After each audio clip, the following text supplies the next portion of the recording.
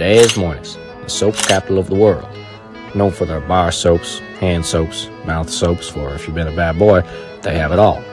Recently, me and my associate ran out of our favorite soap brand, Fels Naptha, the best, cleanest, most delicious bar soap on the market. Unfortunately, Fels Naptha recently got discontinued from the market, which means it's almost impossible to find in stores. This is not beneficial to my keto diet. The only store that had our lovely Fels Naptha bar soap was a Menards way down in Iowa. Normally, for anything else, say a wedding or a funeral, I wouldn't go. But for Fels Naptha, I'd do anything.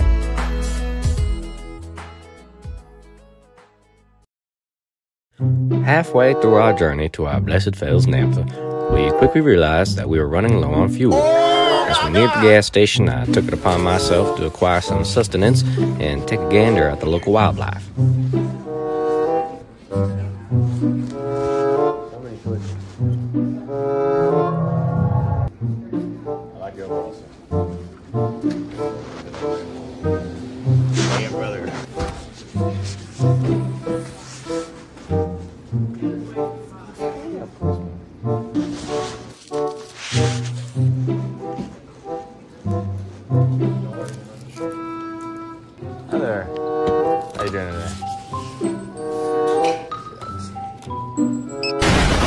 Long story short, Big Pharma put a bomb in my Red Bull for releasing quote unquote secrets to the public in my latest ebook, Jiminy Crickets Johnson & Johnson Stole My Wife.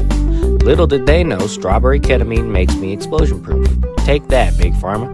Since my payday bar was destroyed in the explosion, we still needed to stop somewhere for some good old fashioned grubathon. We decided to stop at the lovely Iowa Costco for a delicious and hearty meal. Oh, shit, this is just what I came here for. Yeah, chest for.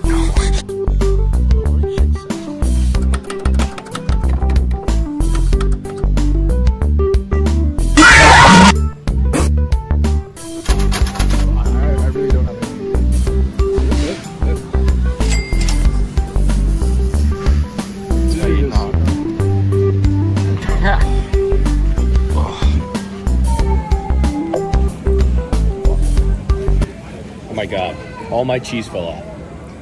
Get a refund. oh, we don't get sued every time Oh.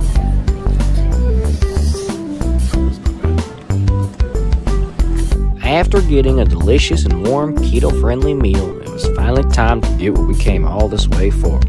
Fels Naptha. 192 miles for some fucking soap. Jesus. We stepped foot into the Menards,